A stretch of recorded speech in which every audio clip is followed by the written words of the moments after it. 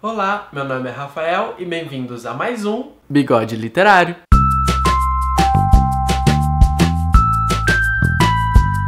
Então hoje eu vim gravar uma coisa especial, não sei se eu posso classificar isso de tag, mas eu acabei de ver o vídeo da Tati do Cabine e eu já tinha conversado com ela, ela já tinha me contado um pouquinho sobre esse vídeo e eu resolvi gravar para vocês então é um pouco da minha história de como eu entrei nesse mundo da literatura, se eu sou ou não aquela geração chamada de geração Harry Potter que começou a devorar os livros pela J.K. Rowling, assim, pelo Harry Potter em si. Comigo foi um pouquinho diferente. Claro que eu li Harry Potter, adoro Harry Potter também, mas não sei se eu posso me classificar como esse estupim de leitura de geração Harry Potter. Eu acho que como toda criança que foi obrigada a ler no colégio, odiava a literatura. Sério, nem, nenhuma leitura obrigada, assim, hum, forçada, é legal. Eu costumo apostar em que as literaturas que a gente mais gosta são aquelas que a gente escolhe, assim, com o coração, que a gente tá com vontade de ler e esses livros se tornam os nossos livros, assim, mais queridos, os nossos livros preferidos. Pra dar início a esse vídeo, eu quis falar um pouquinho então sobre as viagens de Gulliver. Esse aqui foi um livro que eu li, se não me engano, na sexta série. E, claro, não foi essa edição, essa edição eu comprei bem depois.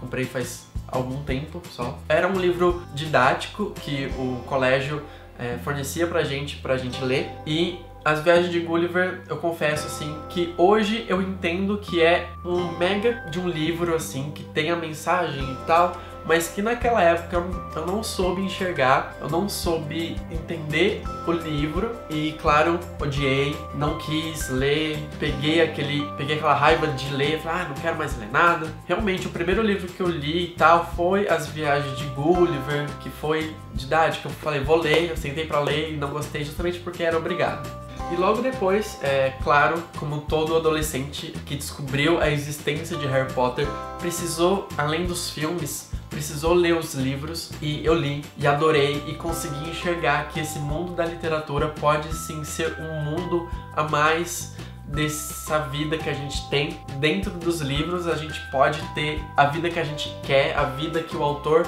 nos proporciona. E Harry Potter assim foi um livro extremamente cativante. Até hoje ele é um livro cativante vários adolescentes, várias crianças estão começando a ler por Harry Potter, apesar de ser um livro super antigo, já virou com certeza um clássico da literatura e uma literatura que incentiva as pessoas a conhecer mais outros livros, a ter vontade de ler outros livros. Mas o ponto que eu queria chegar é Jogos Vorazes. Jogos Vorazes foi o livro que me iniciou nessa leitura assim desesperada de ler um livro atrás do outro, de entender o porquê que a gente lê assim desesperadamente. Eu adoro, adoro, adoro Jogos Vorazes. É com certeza um dos meus livros preferidos. É, eu não vou explicar aqui cada um porque são livros completamente famosos. Todo mundo conhece as histórias desses livros e eu não preciso aqui ficar fazendo uma resenha nem nada do tipo. Então, realmente, toda essa vontade de ficar lendo, de nunca mais parar de ler um livro atrás do outro,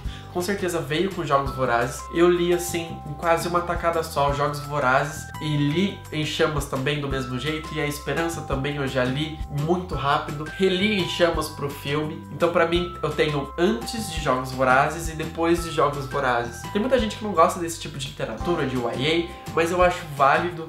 Se tem uma mensagem, se a gente gosta, independente se é fantasia, se é autoajuda, se é qualquer coisa, gente. É um livro? Vamos ler. Vamos disseminar essa paixão pela literatura que nós, canais literários, fazemos, blogs literários fazemos. Então, Tati, eu não sei se tá muito bem respondido, às vezes eu me perco nas minhas ideias, mas eu acho que deu para entender, né? Qual é a minha relação com a literatura, o que eu sinto em ler um livro e ter todo esse mundo que é só meu, mas que todo mundo lê também, que é de todo mundo.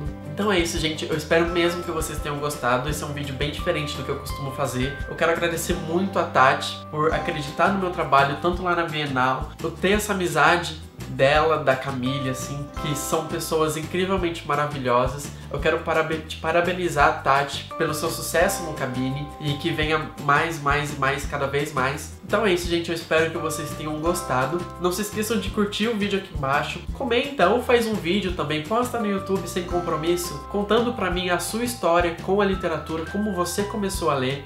Se esse é o primeiro vídeo que você tá vendo, não se esquece de se inscrever aqui no canal. Um beijo e até o próximo vídeo.